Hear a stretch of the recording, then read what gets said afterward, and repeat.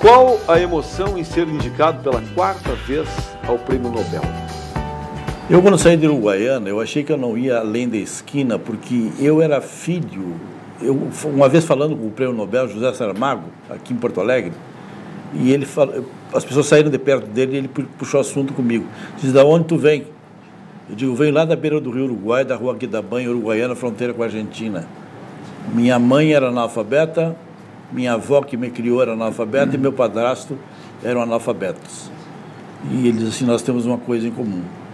Meus pais também eram analfabetos. Então eu vim do, do zero. Eu vim da onde não existiam palavras. E como é que eu chego aonde eu cheguei? Sempre lendo os mais velhos. Eu sempre li os mais velhos. Quando era jovem. Hoje eu já estou com 70 anos completei, festejei meus 70 anos, fui homenageado na Pontifícia Universidade Católica. Os parabéns, poeta. E... Mas não aparenta.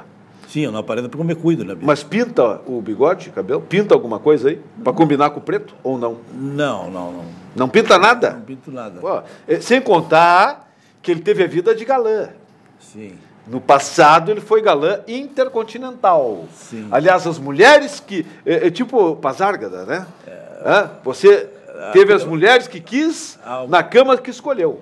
Aquilo Praticamente uma bandeira. Ela foi embora para passar lá, eu sou amigo do rei, teria a mulher que eu quero na cama que escolhi. Mas, na verdade, o, na bandeira não era muito. não levou mulher nenhuma, né? Mas no teu caso levou? Eu levei bastante. Quando podia. Né? Quantas? No meu livro de memórias. Opa, esse... quantas mulheres o nobre poeta? Olha, papo ele tem. Tem o meu primeiro livro. Quantas né? namoradas, casos, Não, romances? Por isso eu estou dizendo, tem um livro, o primeiro livro sobre a minha vida e minha obra pelo Jablonski, que diz assim, Luiz de Miranda, o Senhor da Palavra, publicado pela editora da PUC. Lá ele arrolou 500 mulheres. Redondo? É. Não foi 501 nem 499? Não, 500, arredondou em 500. Redondinho. Porque eu contei uma história. No ano de 1974, no final do ano, eu estava sozinho sentado na minha casa. Tinha um ateliê junto com o Elias, o grande pintor daqui, Sim. o Ademir Elias. Ia passar o. Faz tempo que eu não vejo ele. Ele morreu. Desculpa. Pô, essa, agora quebrou a firma. agora me destruiu. É, mas ele. É, não, mas pá, morreu.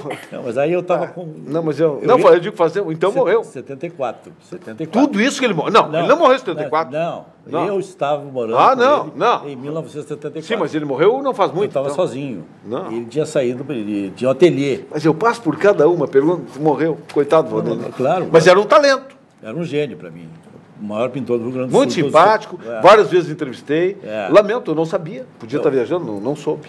Mas aí, Deus o tenha. Aí eu estava vendo. Eu digo, por que, que eu estou sozinho no final do ano? Aí comecei a tomar nota das meninas que eu tinha tido naquele ano de 74. Te mete, canivete! Estão pensando o quê? Fui tomar, tomar Em nota, 74, né? quantas? 34. Só? É. Tá começando, vou. No ano de 74. Tá começando. Eu tive namoradas famosas, como a Maísa Matarazzo como a Cristina Nunes, filha do Max Nunes, atriz da Globo, uma Nina de Paula, que fazia o programa do Viva o Gordo. Essa eu me lembro. É. Lá no Água na Boca, tu com ela. É. Essa eu me lembro. É. Então eu tive mulheres famosas. Mas eu peguei essas 34, doutor. Sim quando eu tinha 29 anos de idade. Ah, era bem Estava instalando, e eu era, eu, eu, era secretário da noite nomeado por Lupicino Rodrigues, então eu vivia nos bares da noite não, de Porto Alegre. Puerta, não, tá demais. Ele era o secretário da noite nomeado por Lupicino Rodrigues. É não, eu fico um programa inteiro. Não, a gente podia ficar dois dias conversando.